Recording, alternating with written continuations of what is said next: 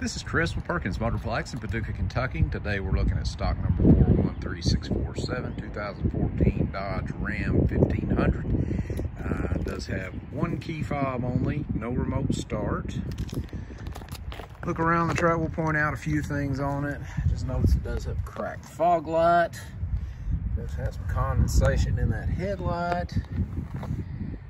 It's got a really good set of all-terrain tires on it.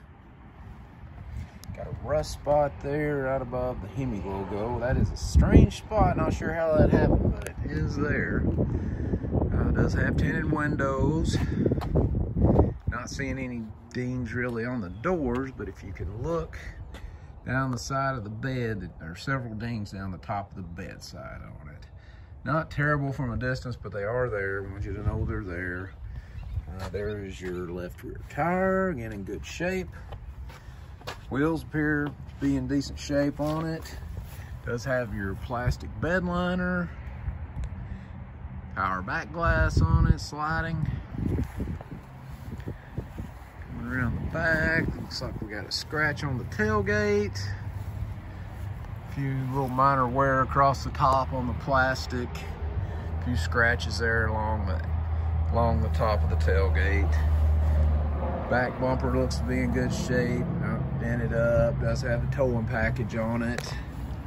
Come around the passenger side, again, it's got some little dings down the side top of the bed side. Looks like somebody probably worked out of it. There's a dent right in there. I'm not sure if you can see it, little ding. There's your right rear tire. Looks great.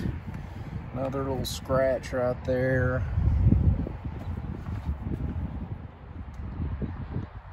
See anything in the passenger rear door, but there is a ding right there in the passenger front door.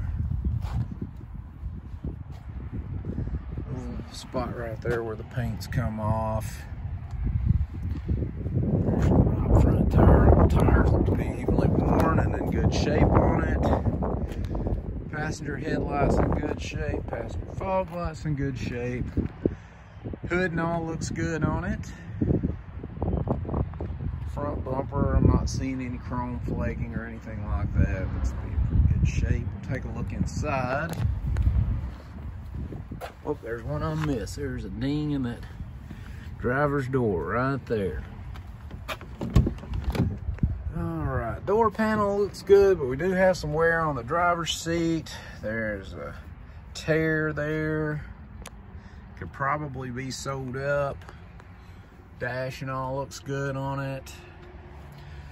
Got the uh, nice WeatherTech all-weather mats.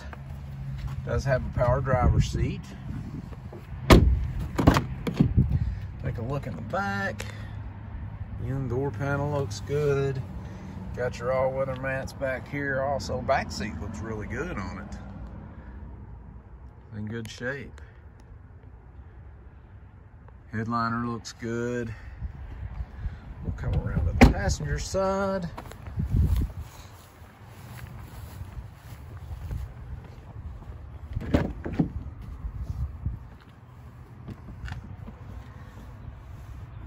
Door panel again looks good. Looks great on the passenger side in the back. Apparently didn't have a lot of people riding in the back of it. Look at the passenger front. And not a power seat on this side, but it looks to be in good shape. There's your door panels in good shape. And the dash looks really good on it. does have the larger screen, turn button, uh, gear shifter, and passenger seat looks really good on it. All right, now we'll crank it up and take a look under the hood.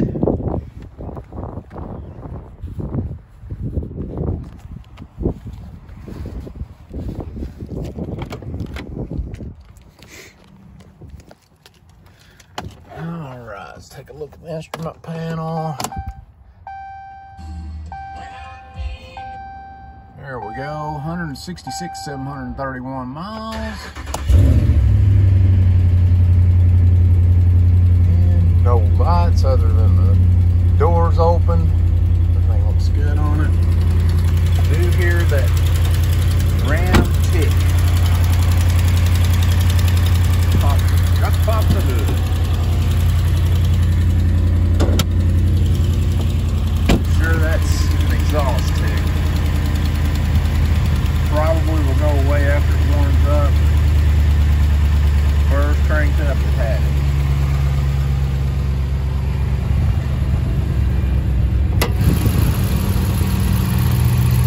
good under the hood. Run smooth. Doesn't look like it's had anything added on to it or taken away. It's all in good shape.